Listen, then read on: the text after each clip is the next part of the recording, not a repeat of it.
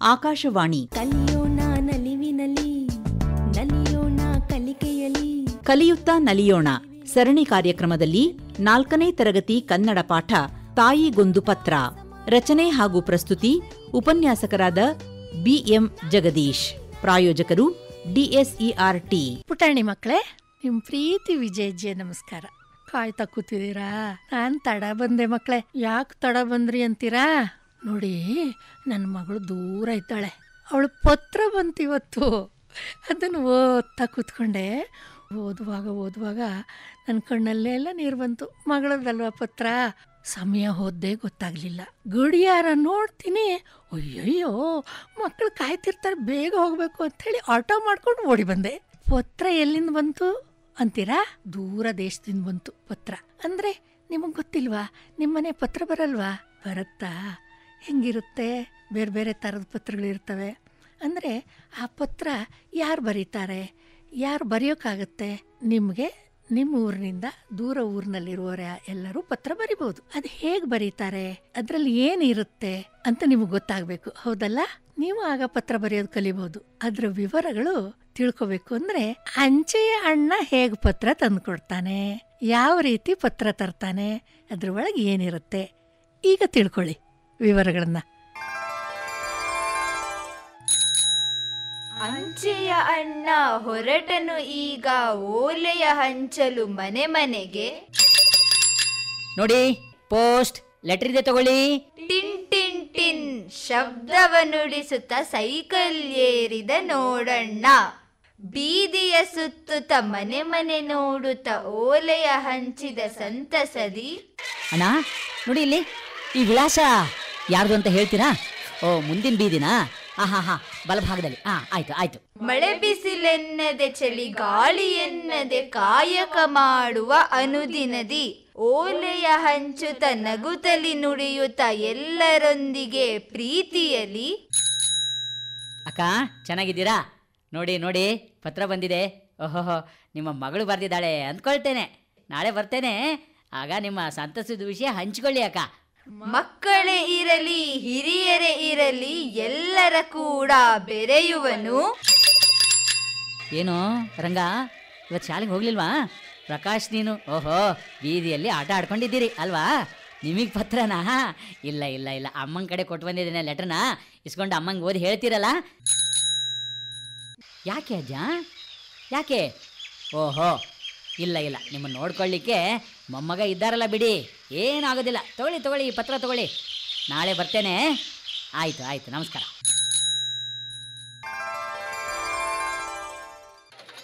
ಹಾ, ಮಕ್ಕಳೇ, ಮೈಸೂರು ದಸರಾ ಅಂದ ತಕ್ಷಣ ನಿಮಗೆಲ್ಲ ಬಹಳ ಸಂತೋಷ ಆಗುತ್ತಲ್ವಾ? ಯಾಕೆ ಅಂತ ಹೇಳಿದರೆ ಅಲ್ಲಿ ಬರ್ತಕ್ಕಂತಹ ಟ್ಯಾಬ್ಲೋಗಳು, ಅಲ್ಲಿರ್ತಕ್ಕಂತಹ ಸುಂದರ ದೃಶ್ಯಗಳು ನಿಮ್ಮನ್ನು ಬಹಳ ಸಂತೋಷದಲ್ಲಿ ಇಡ್ತವೆ. ಮಕ್ಕಳೇ ನಮ್ಮ ಉಲ್ಲಾಸ್ ಇದಾನಲ್ಲ? ಈತ ದಸರಾ ರಜೆಗೆ ತನ್ನ ಅಜ್ಜ, ಅಜ್ಜಿಯೊಂದಿಗೆ ಮೈಸೂರಿಗೆ ದಸರಾ ಹಬ್ಬವನ್ನು ನೋಡಬೇಕು ಅಂತಲೇ ಹೋದ.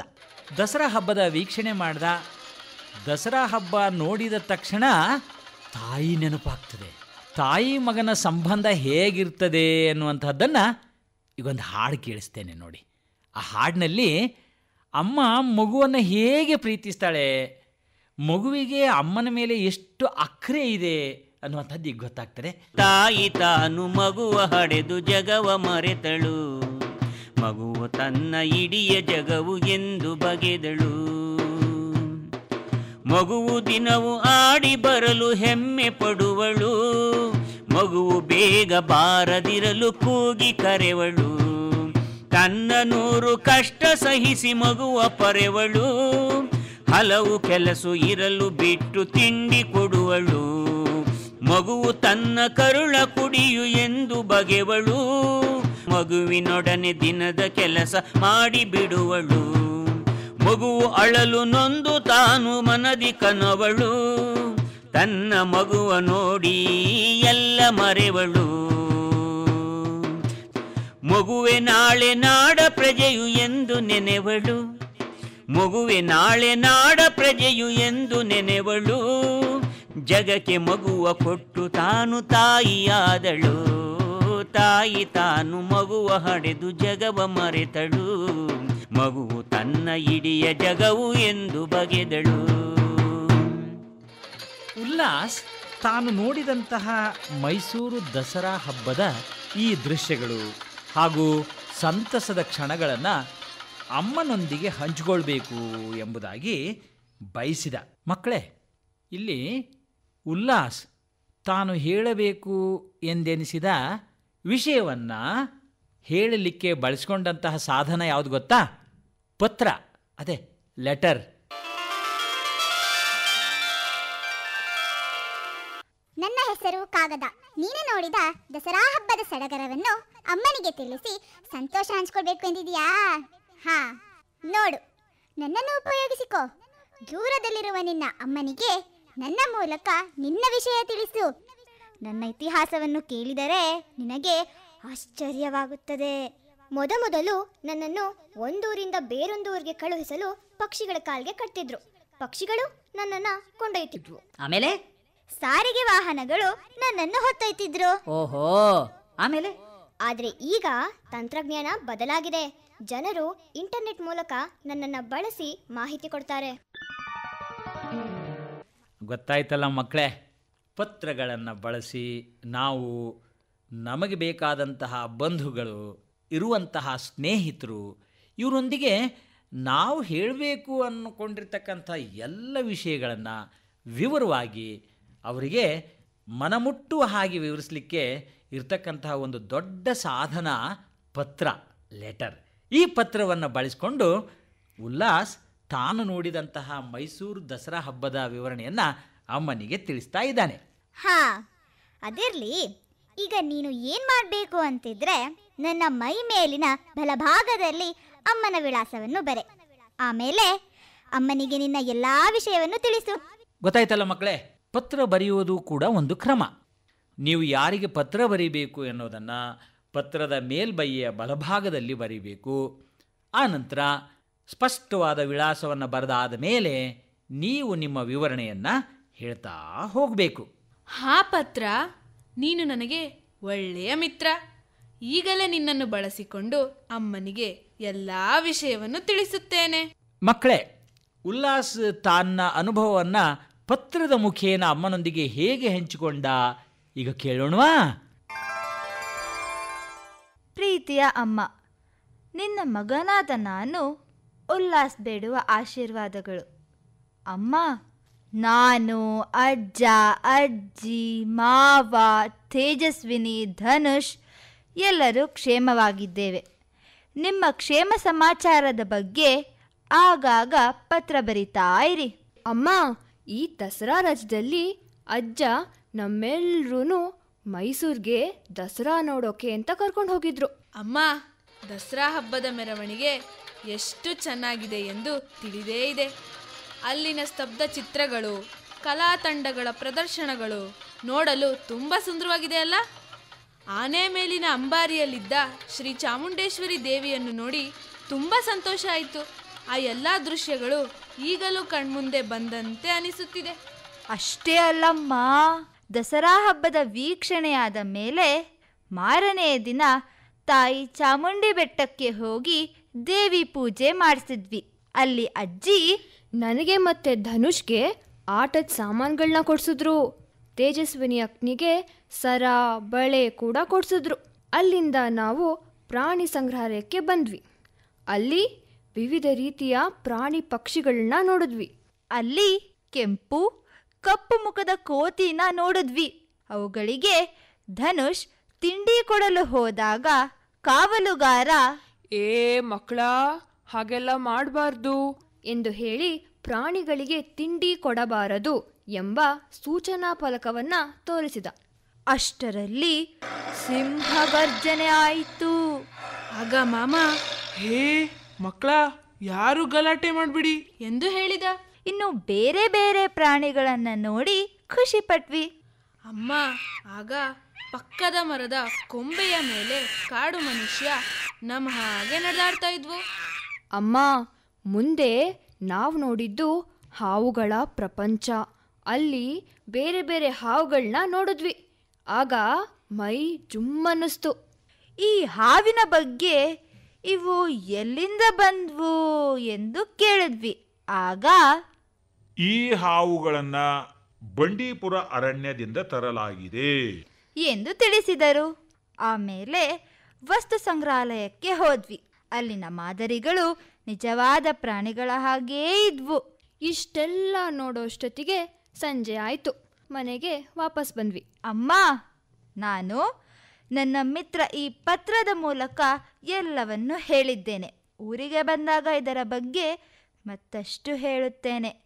ಎಲ್ಲರಿಗೂ ನನ್ನ ನಮಸ್ಕಾರಗಳನ್ನು ತಿಳಿಸಿಬಿಡಮ್ಮ ನಿನ್ನ ಪ್ರೀತಿಯ ಮಗ ಉಲ್ಲಾಸ್. ಹಾ ಮಕ್ಕಳೇ, ಕೇಳಿದ್ರಲ್ಲ, ಉಲ್ಲಾಸ್ ದಸರಾ ಹಬ್ಬ ನೋಡಿದ ಸಡಗರವನ್ನು ಅಮ್ಮನಿಗೆ ಹಂಚಿಕೊಂಡಿದ್ದಾನೆ. ಬಹಳ ಸ್ವಾರಸ್ಯಕರವಾಗಿ ಪತ್ರವನ್ನು ಬರೆದಿದ್ದಾನೆ. ಮಕ್ಕಳೇ, ನಿಮಗೆ ಗೊತ್ತಿರಬೇಕು, ನಾವು ನಮ್ಮ ಬಂಧುಗಳಿಗೆ, ನಮ್ಮ ಮಿತ್ರರಿಗೆ ನಮ್ಮ ಅನಿಸಿಕೆಗಳನ್ನು ತಿಳಿಸ್ಲಿಕ್ಕೆ ಬಳಸ್ತಕ್ಕಂಥ ಒಂದು ಸಾಧನ ಅಂತ ಹೇಳಿದರೆ ಈ ಪತ್ರ. ಪತ್ರ ಬರೆಯೋದನ್ನು ನಾವು ಕಲಿಬೇಕು. ಮಕ್ಕಳೇ ಈಗ ನೀವೇನು ಮಾಡಬೇಕು ಅಂತ ಹೇಳಿದರೆ ಮನೆಯಲ್ಲಿ ಅಪ್ಪ ಅಮ್ಮ ಅಣ್ಣ ಅಕ್ಕ ಇವರಿಂದ ಪತ್ರ ಹೇಗೆ ಬರೆಯೋದು ಅನ್ನೋದನ್ನು ಕಲ್ತ್ಕೊಳ್ಳಿ. ಈ ಪತ್ರದ ಮೂಲಕ ದೂರದಲ್ಲಿರ್ತಕ್ಕಂಥ ನಮ್ಮ ಬಂಧುಗಳಿಗೆ ಸ್ನೇಹಿತರಿಗೆ ಸುಲಭವಾಗಿ ನಮ್ಮ ಭಾವನೆಗಳನ್ನು ತಿಳಿಸಿ ಹೇಳಬಹುದು. ಪತ್ರ ನಮ್ಮ ಮಿತ್ರ. ಮಕ್ಕಳೇ ಒಬ್ಬೊಬ್ಬೊಬ್ಬೊಬ್ಬ ಒಂದು ಕಡೆಯಿಂದ ಇನ್ನೊಂದು ಕಡೆಗೆ ಪತ್ರ ಬರೆದಾಗ ಎಲ್ಲ ವಿಷಯಗಳನ್ನು ಅದರಲ್ಲಿ ಬರಿಬೋದು. ಅಂದರೆ ನೀವು ಅಲ್ಲಿ ನೋಡಿದ್ದು, ಅಲ್ಲಿ ತಿಳ್ಕೊಂಡಿರೋದು, ಬೇರೆ ಬೇರೆ ವಿಷಯಗಳನ್ನೆಲ್ಲ ನೀವು ತಿಳ್ಕೊಳ್ಬೋದು. ಹೌದಲ್ಲ? ಖುಷಿ ಆಯ್ತಾ? ಈಗ ಬೇರೆ ಬೇರೆಯವರಿಗೆ ಬೇರೆ ಬೇರೆ ಥರ ಪತ್ರ ಬರೀತಾರೆ. ಈಗ ದೂರದಲ್ಲಿ ಒಬ್ಬ ಹುಡುಗ ಕಲಿತಾ ಇದ್ದಾನೆ. ಅಮ್ಮನಿಗೆ ಕಾಗದ ಬರೀತಾನೆ ಅಂತ ಇಟ್ಕೊಳ್ಳಿ. ಆಗ ಮಾತೃಶ್ರೀಯವರಿಗೆ ಅಂತ ಬರೀತಾನೆ. ಅಮ್ಮನಿಗೆ ಅಂತ ಬರೆದ್ರೆ ಆಗುತ್ತೆ. ಅದು ಬರೆಯೋ ಕ್ರಮ. ಮಾತೃಶ್ರೀಯವರಿಗೆ ಅಂತ ಹೇಳ್ಕೊಂಡು ಪ್ರಾರಂಭ ಮಾಡ್ತಾರೆ. ಆಮೇಲೆ ತಂದೆಯವರಿಗೆ ಬರೆಯುವಾಗ ತೀರ್ಥರೂಪರಿಗೆ ಅಂತ ಬರಿಬೇಕು. ಆಗ ತಂದೆಯವರಿಗೆ ಗೌರವ ಕೊಟ್ಟಂಗಾಗುತ್ತೆ. ಈಗ ನೀವು ಶಾಲೆಯಲ್ಲಿ ರಜೆ ಬೇಕು ಅಂಥೇಳಿ ಕೇಳೋದಕ್ಕೆ ತರಗತಿ ಉಪಾಧ್ಯಾಯರಿಗೋ, ಮುಖ್ಯೋಪಾಧ್ಯಾಯರಿಗೋ ಪತ್ರ ಬರಿತೀರಿ. ರಜೆ ಅರ್ಜಿ ಬರಿತೀರಿ. ರಜೆಯ ಪತ್ರ. ಅದು ಕೂಡ ಒಂದು ಕ್ರಮದಲ್ಲೇ ಬರಿಬೇಕು. ಈಗ ಮುಖ್ಯೋಪಾಧ್ಯಾಯರಿಗೆ ಬರೆಯುವಾಗ, ಮಾನ್ಯ ಮುಖ್ಯೋಪಾಧ್ಯಾಯರಿಗೆ ನಮಸ್ಕಾರಗಳು ಅಂತ ಬರೆದು ಮುಂದೆ ಪತ್ರ ಬರಿಬೇಕು. ತರಗತಿಯ ಉಪಾಧ್ಯಾಯರಿಗೆ ಬರೆಯುವಾಗ, ಮಾನ್ಯ ತರಗತಿಯ ಉಪಾಧ್ಯಾಯರಿಗೆ ಅಂಥೇಳಿ ತಕೊಂಡು ನಮಸ್ಕಾರ ತಿಳಿಸಿ ಮತ್ತೆ ವಿವರ ಬರಿಬೇಕು. ಹೀಗೆ ಪತ್ರ ಬರೆಯೋ ಕ್ರಮ ತುಂಬ ಇದೆ. ಆಮೇಲೆ ಕೊನೆಯಲ್ಲಿ ಇಂತಿ ನಿಮ್ಮ ವಿಧೇಯ ಅಂತ ಬರೆದು ನಿಮ್ಮ ಹೆಸರು ಬರಿಬೇಕು. ಹಿರಿಯರಿಗೆ ಬರೆಯುವಾಗ ವಿಧೇಯರಾಗಿರ್ಬೇಕಲ್ವ ಮಕ್ಕಳು? ಹಾಗೆ ಇದನ್ನೆಲ್ಲ ಕ್ರಮಗಳನ್ನು ನೀವು ಅನುಸರಿಸ್ಕೊಂಡು ಪತ್ರ ಬರಿಬೇಕು. ಆಮೇಲೆ ಅಯ್ಯೋ, ಇಷ್ಟೆಲ್ಲ ಕಷ್ಟಪಟ್ಟು ಯಾಕಪ್ಪ ಪತ್ರ ಬರಿಬೇಕು? ಓಹೋ, ಮೊಬೈಲ್ ಫೋನ್ ಇದೆ. ಮಾತಾಡ್ಕೊಂಡ್ರಾಯ್ತು. ಅಂತ ಹೇಳ್ತೀರಾ? ಹಾಂ ಮೊಬೈಲ್ ಫೋನ್ ಇರಲಿ. ಪತ್ರ ಬರೆಯೋದು ಅನ್ನುವಂಥ ಕ್ರಮ ಇದೆಯಲ್ಲ? ಅದನ್ನು ಬೆಳೆಸ್ಕೊಂಡು ಬರಲೇಬೇಕು. ಪತ್ರ ನೀವು ಬರೀಲೇಬೇಕು ಮಕ್ಕಳೇ. ಆಯಿತಾ? ಈಗ ನೀವು ಈ ಕಾರ್ಯಕ್ರಮದಲ್ಲಿ ಪತ್ರ ಬರೆಯೋ ಕ್ರಮವನ್ನು ಕಲ್ತ್ರಿ ಅಲ್ವಾ? ನಿಮ್ಮ ಅಕ್ಕ ಎಲ್ಲೋ ದೂರದಲ್ಲಿದ್ದಾರೆ. ಅವ್ರಿಗೆ ಒಂದೊಂದು ಪತ್ರ ಬರೀರಿ ಆವಾಗ ಆವಾಗ. ಆಗ ಅವರಿಗೂ ಕೂಡ ಖುಷಿಯಾಗುತ್ತೆ ನನ್ನ ತಮ್ಮ ಪತ್ರ ಬರೆದಿದ್ದಾನೆ, ಓದ್ತೀನಿ ಅಂತ ಓದ್ತಾರೆ. ಆದ್ದರಿಂದ ಇದರಿಂದ ಒಂದು ಬಾಂಧವ್ಯ ಬೆಳೆಯುತ್ತೆ. ಇದನ್ನು ಬೆಳೆಸ್ಕೊಂಡು ಬನ್ನಿ. ಆಯಿತಾ ಮಕ್ಕಳೇ? ಆಯಿತು ಅಂತೀರಿ. ಸರಿ, ನೀವು ಏನು ಕಲ್ತ್ರಿ? ಪತ್ರ ಹೇಗೆ ಬರೀತೀರಿ ಅಂತ ನಂಗೆ ಪತ್ರ ಬರೀರಿ. ಹೇಗೆ ಬರೀತೀರಿ? ನಮ್ಮ ಆಲ್ ಇಂಡಿಯಾ ರೇಡಿಯೋ ವಾಟ್ಸಪ್ಪಿಗೆ ಕಳಿಸ್ಕೊಡಿ. ಇನ್ನೊಂದು ಸಲ ಕೇಳಬೇಕು. ಇದನ್ನು ತಿಳ್ಕೊಳ್ಬೇಕು ಅಂತೀರಾ? ಹಾಗಿದ್ರೆ ನಮ್ಮ ಆಲ್ ಇಂಡಿಯಾ ರೇಡಿಯೋ ಬೆಂಗಳೂರು ಯೂಟ್ಯೂಬ್ನಲ್ಲಿ ನೀವು ಕೇಳ್ಬೋದು.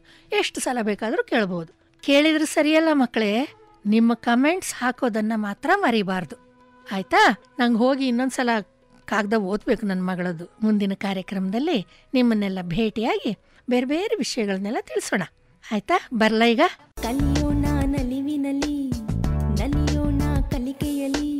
ಕಲಿಯುತ್ತಾ ನಲಿಯೋಣ. ಕಾರ್ಯಕ್ರಮ ಸರಣಿಯಲ್ಲಿ ನಾಲ್ಕನೇ ತರಗತಿ ಕನ್ನಡ ಪಾಠ ತಾಯಿಗೊಂದು ಪತ್ರ ಕೇಳಿದಿರಿ. ರಚನೆ ಹಾಗೂ ಪ್ರಸ್ತುತಿ ಬಿಎಂ ಜಗದೀಶ್. ಭಾಗವಹಿಸಿದ್ದವರು ವಿಜಯನಗರದ ನ್ಯೂ ಪಬ್ಲಿಕ್ ಶಾಲೆಯ ವಿದ್ಯಾರ್ಥಿಗಳಾದ ಪೂರ್ಣಶ್ರೀ ಎಸ್. ಪ್ರಸಾದ್, ಗೀತಾಂಜಲಿ ಇ. ಹಾಗೂ ಪ್ರಿಯಾಂಕಾ ಗೌಡ ಬಿಎಸ್ ನಿರೂಪಣೆ ಕೆ. ವಿಜಯಲಕ್ಷ್ಮೀ ದೇವಿ. ನಿರ್ವಹಣೆ ಎಸ್ಆರ್ ಭಟ್. ಸಹಕಾರ ಸವಿತಾ ಲಮಾಣಿ. ಪ್ರಾಯೋಜಕರು ಡಿಎಸ್ಇಆರ್ಟಿ. ಈ ಕಾರ್ಯಕ್ರಮ ಆಕಾಶವಾಣಿ ಬೆಂಗಳೂರು ಕೇಂದ್ರದ ಕೊಡುಗೆ.